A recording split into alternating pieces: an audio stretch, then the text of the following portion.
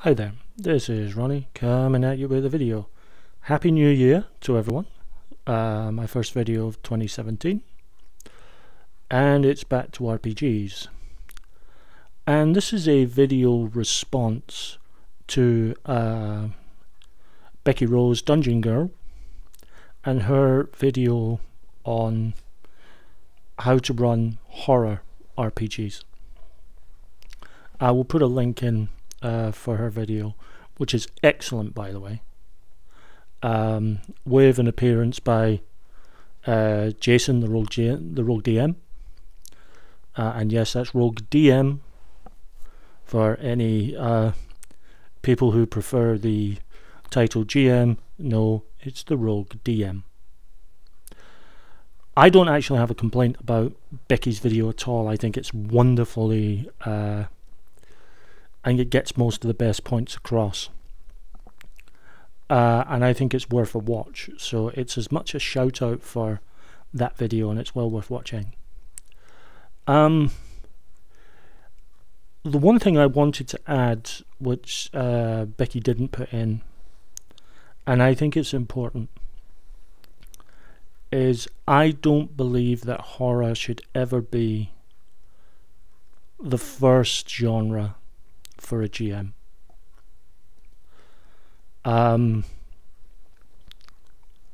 fantasy, science fiction, uh, superheroes, um, all those kind of games can work very well as a first game. Uh, even a sort of modern action game, you know, get your full John Woo on they're fine. Horror is different. Horror requires such an attention to detail in terms of atmosphere and has to be so precise in how you deal with that atmosphere that I think it's a lot to ask for a first time GM.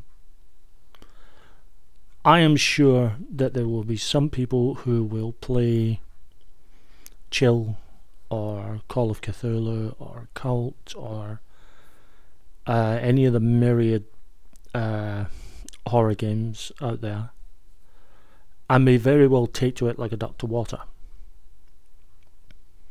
In which case, you know, yay. But in my opinion, it's not a good fit for a first time GM.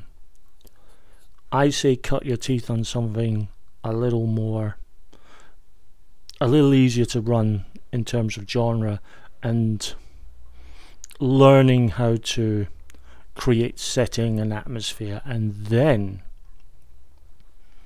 once you're a bit more comfortable comfortable and confident in that then put yourself out there with regards to creating uh, content for a horror game. One of the things I did like about uh, Becky's video, this is going to sound slightly egotistical, but never mind, um, is when she was sort of counting down all the different things, I'm sitting there nodding, yep, Yep, yep, do that. Yep, yeah, do that. Yep. So one of the things that the video actually, when it ended, I was sitting there going, I must be doing something right. Uh, because all those little tips, which it's it's almost to the point of saying duh of course but if you are a fledgling GM, or it's your first attempt at horror, uh, they are excellent tips and pieces of advice to have, and it's a very good video. Um, so yeah, this is a quick video from me, just to say go and watch Becky. Uh, her video is excellent. I agree with it all, but I would add uh, not for first time GMs. Um, horror is a niche. It's the same with humor actually. The uh, the other one that I would never give a first time GM is Toon. Because humor and horror are both very, very difficult to pull off.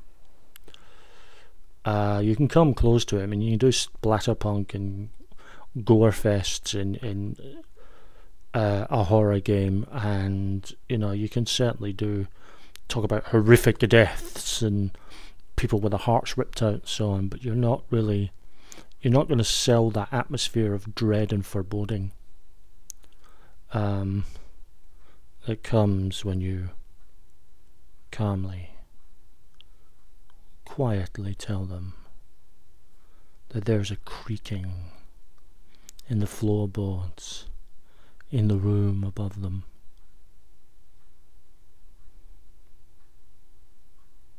Footsteps softly falling, creaking, but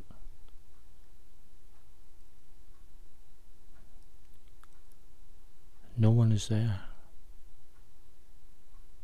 And yet, the footsteps continue to fall and creak.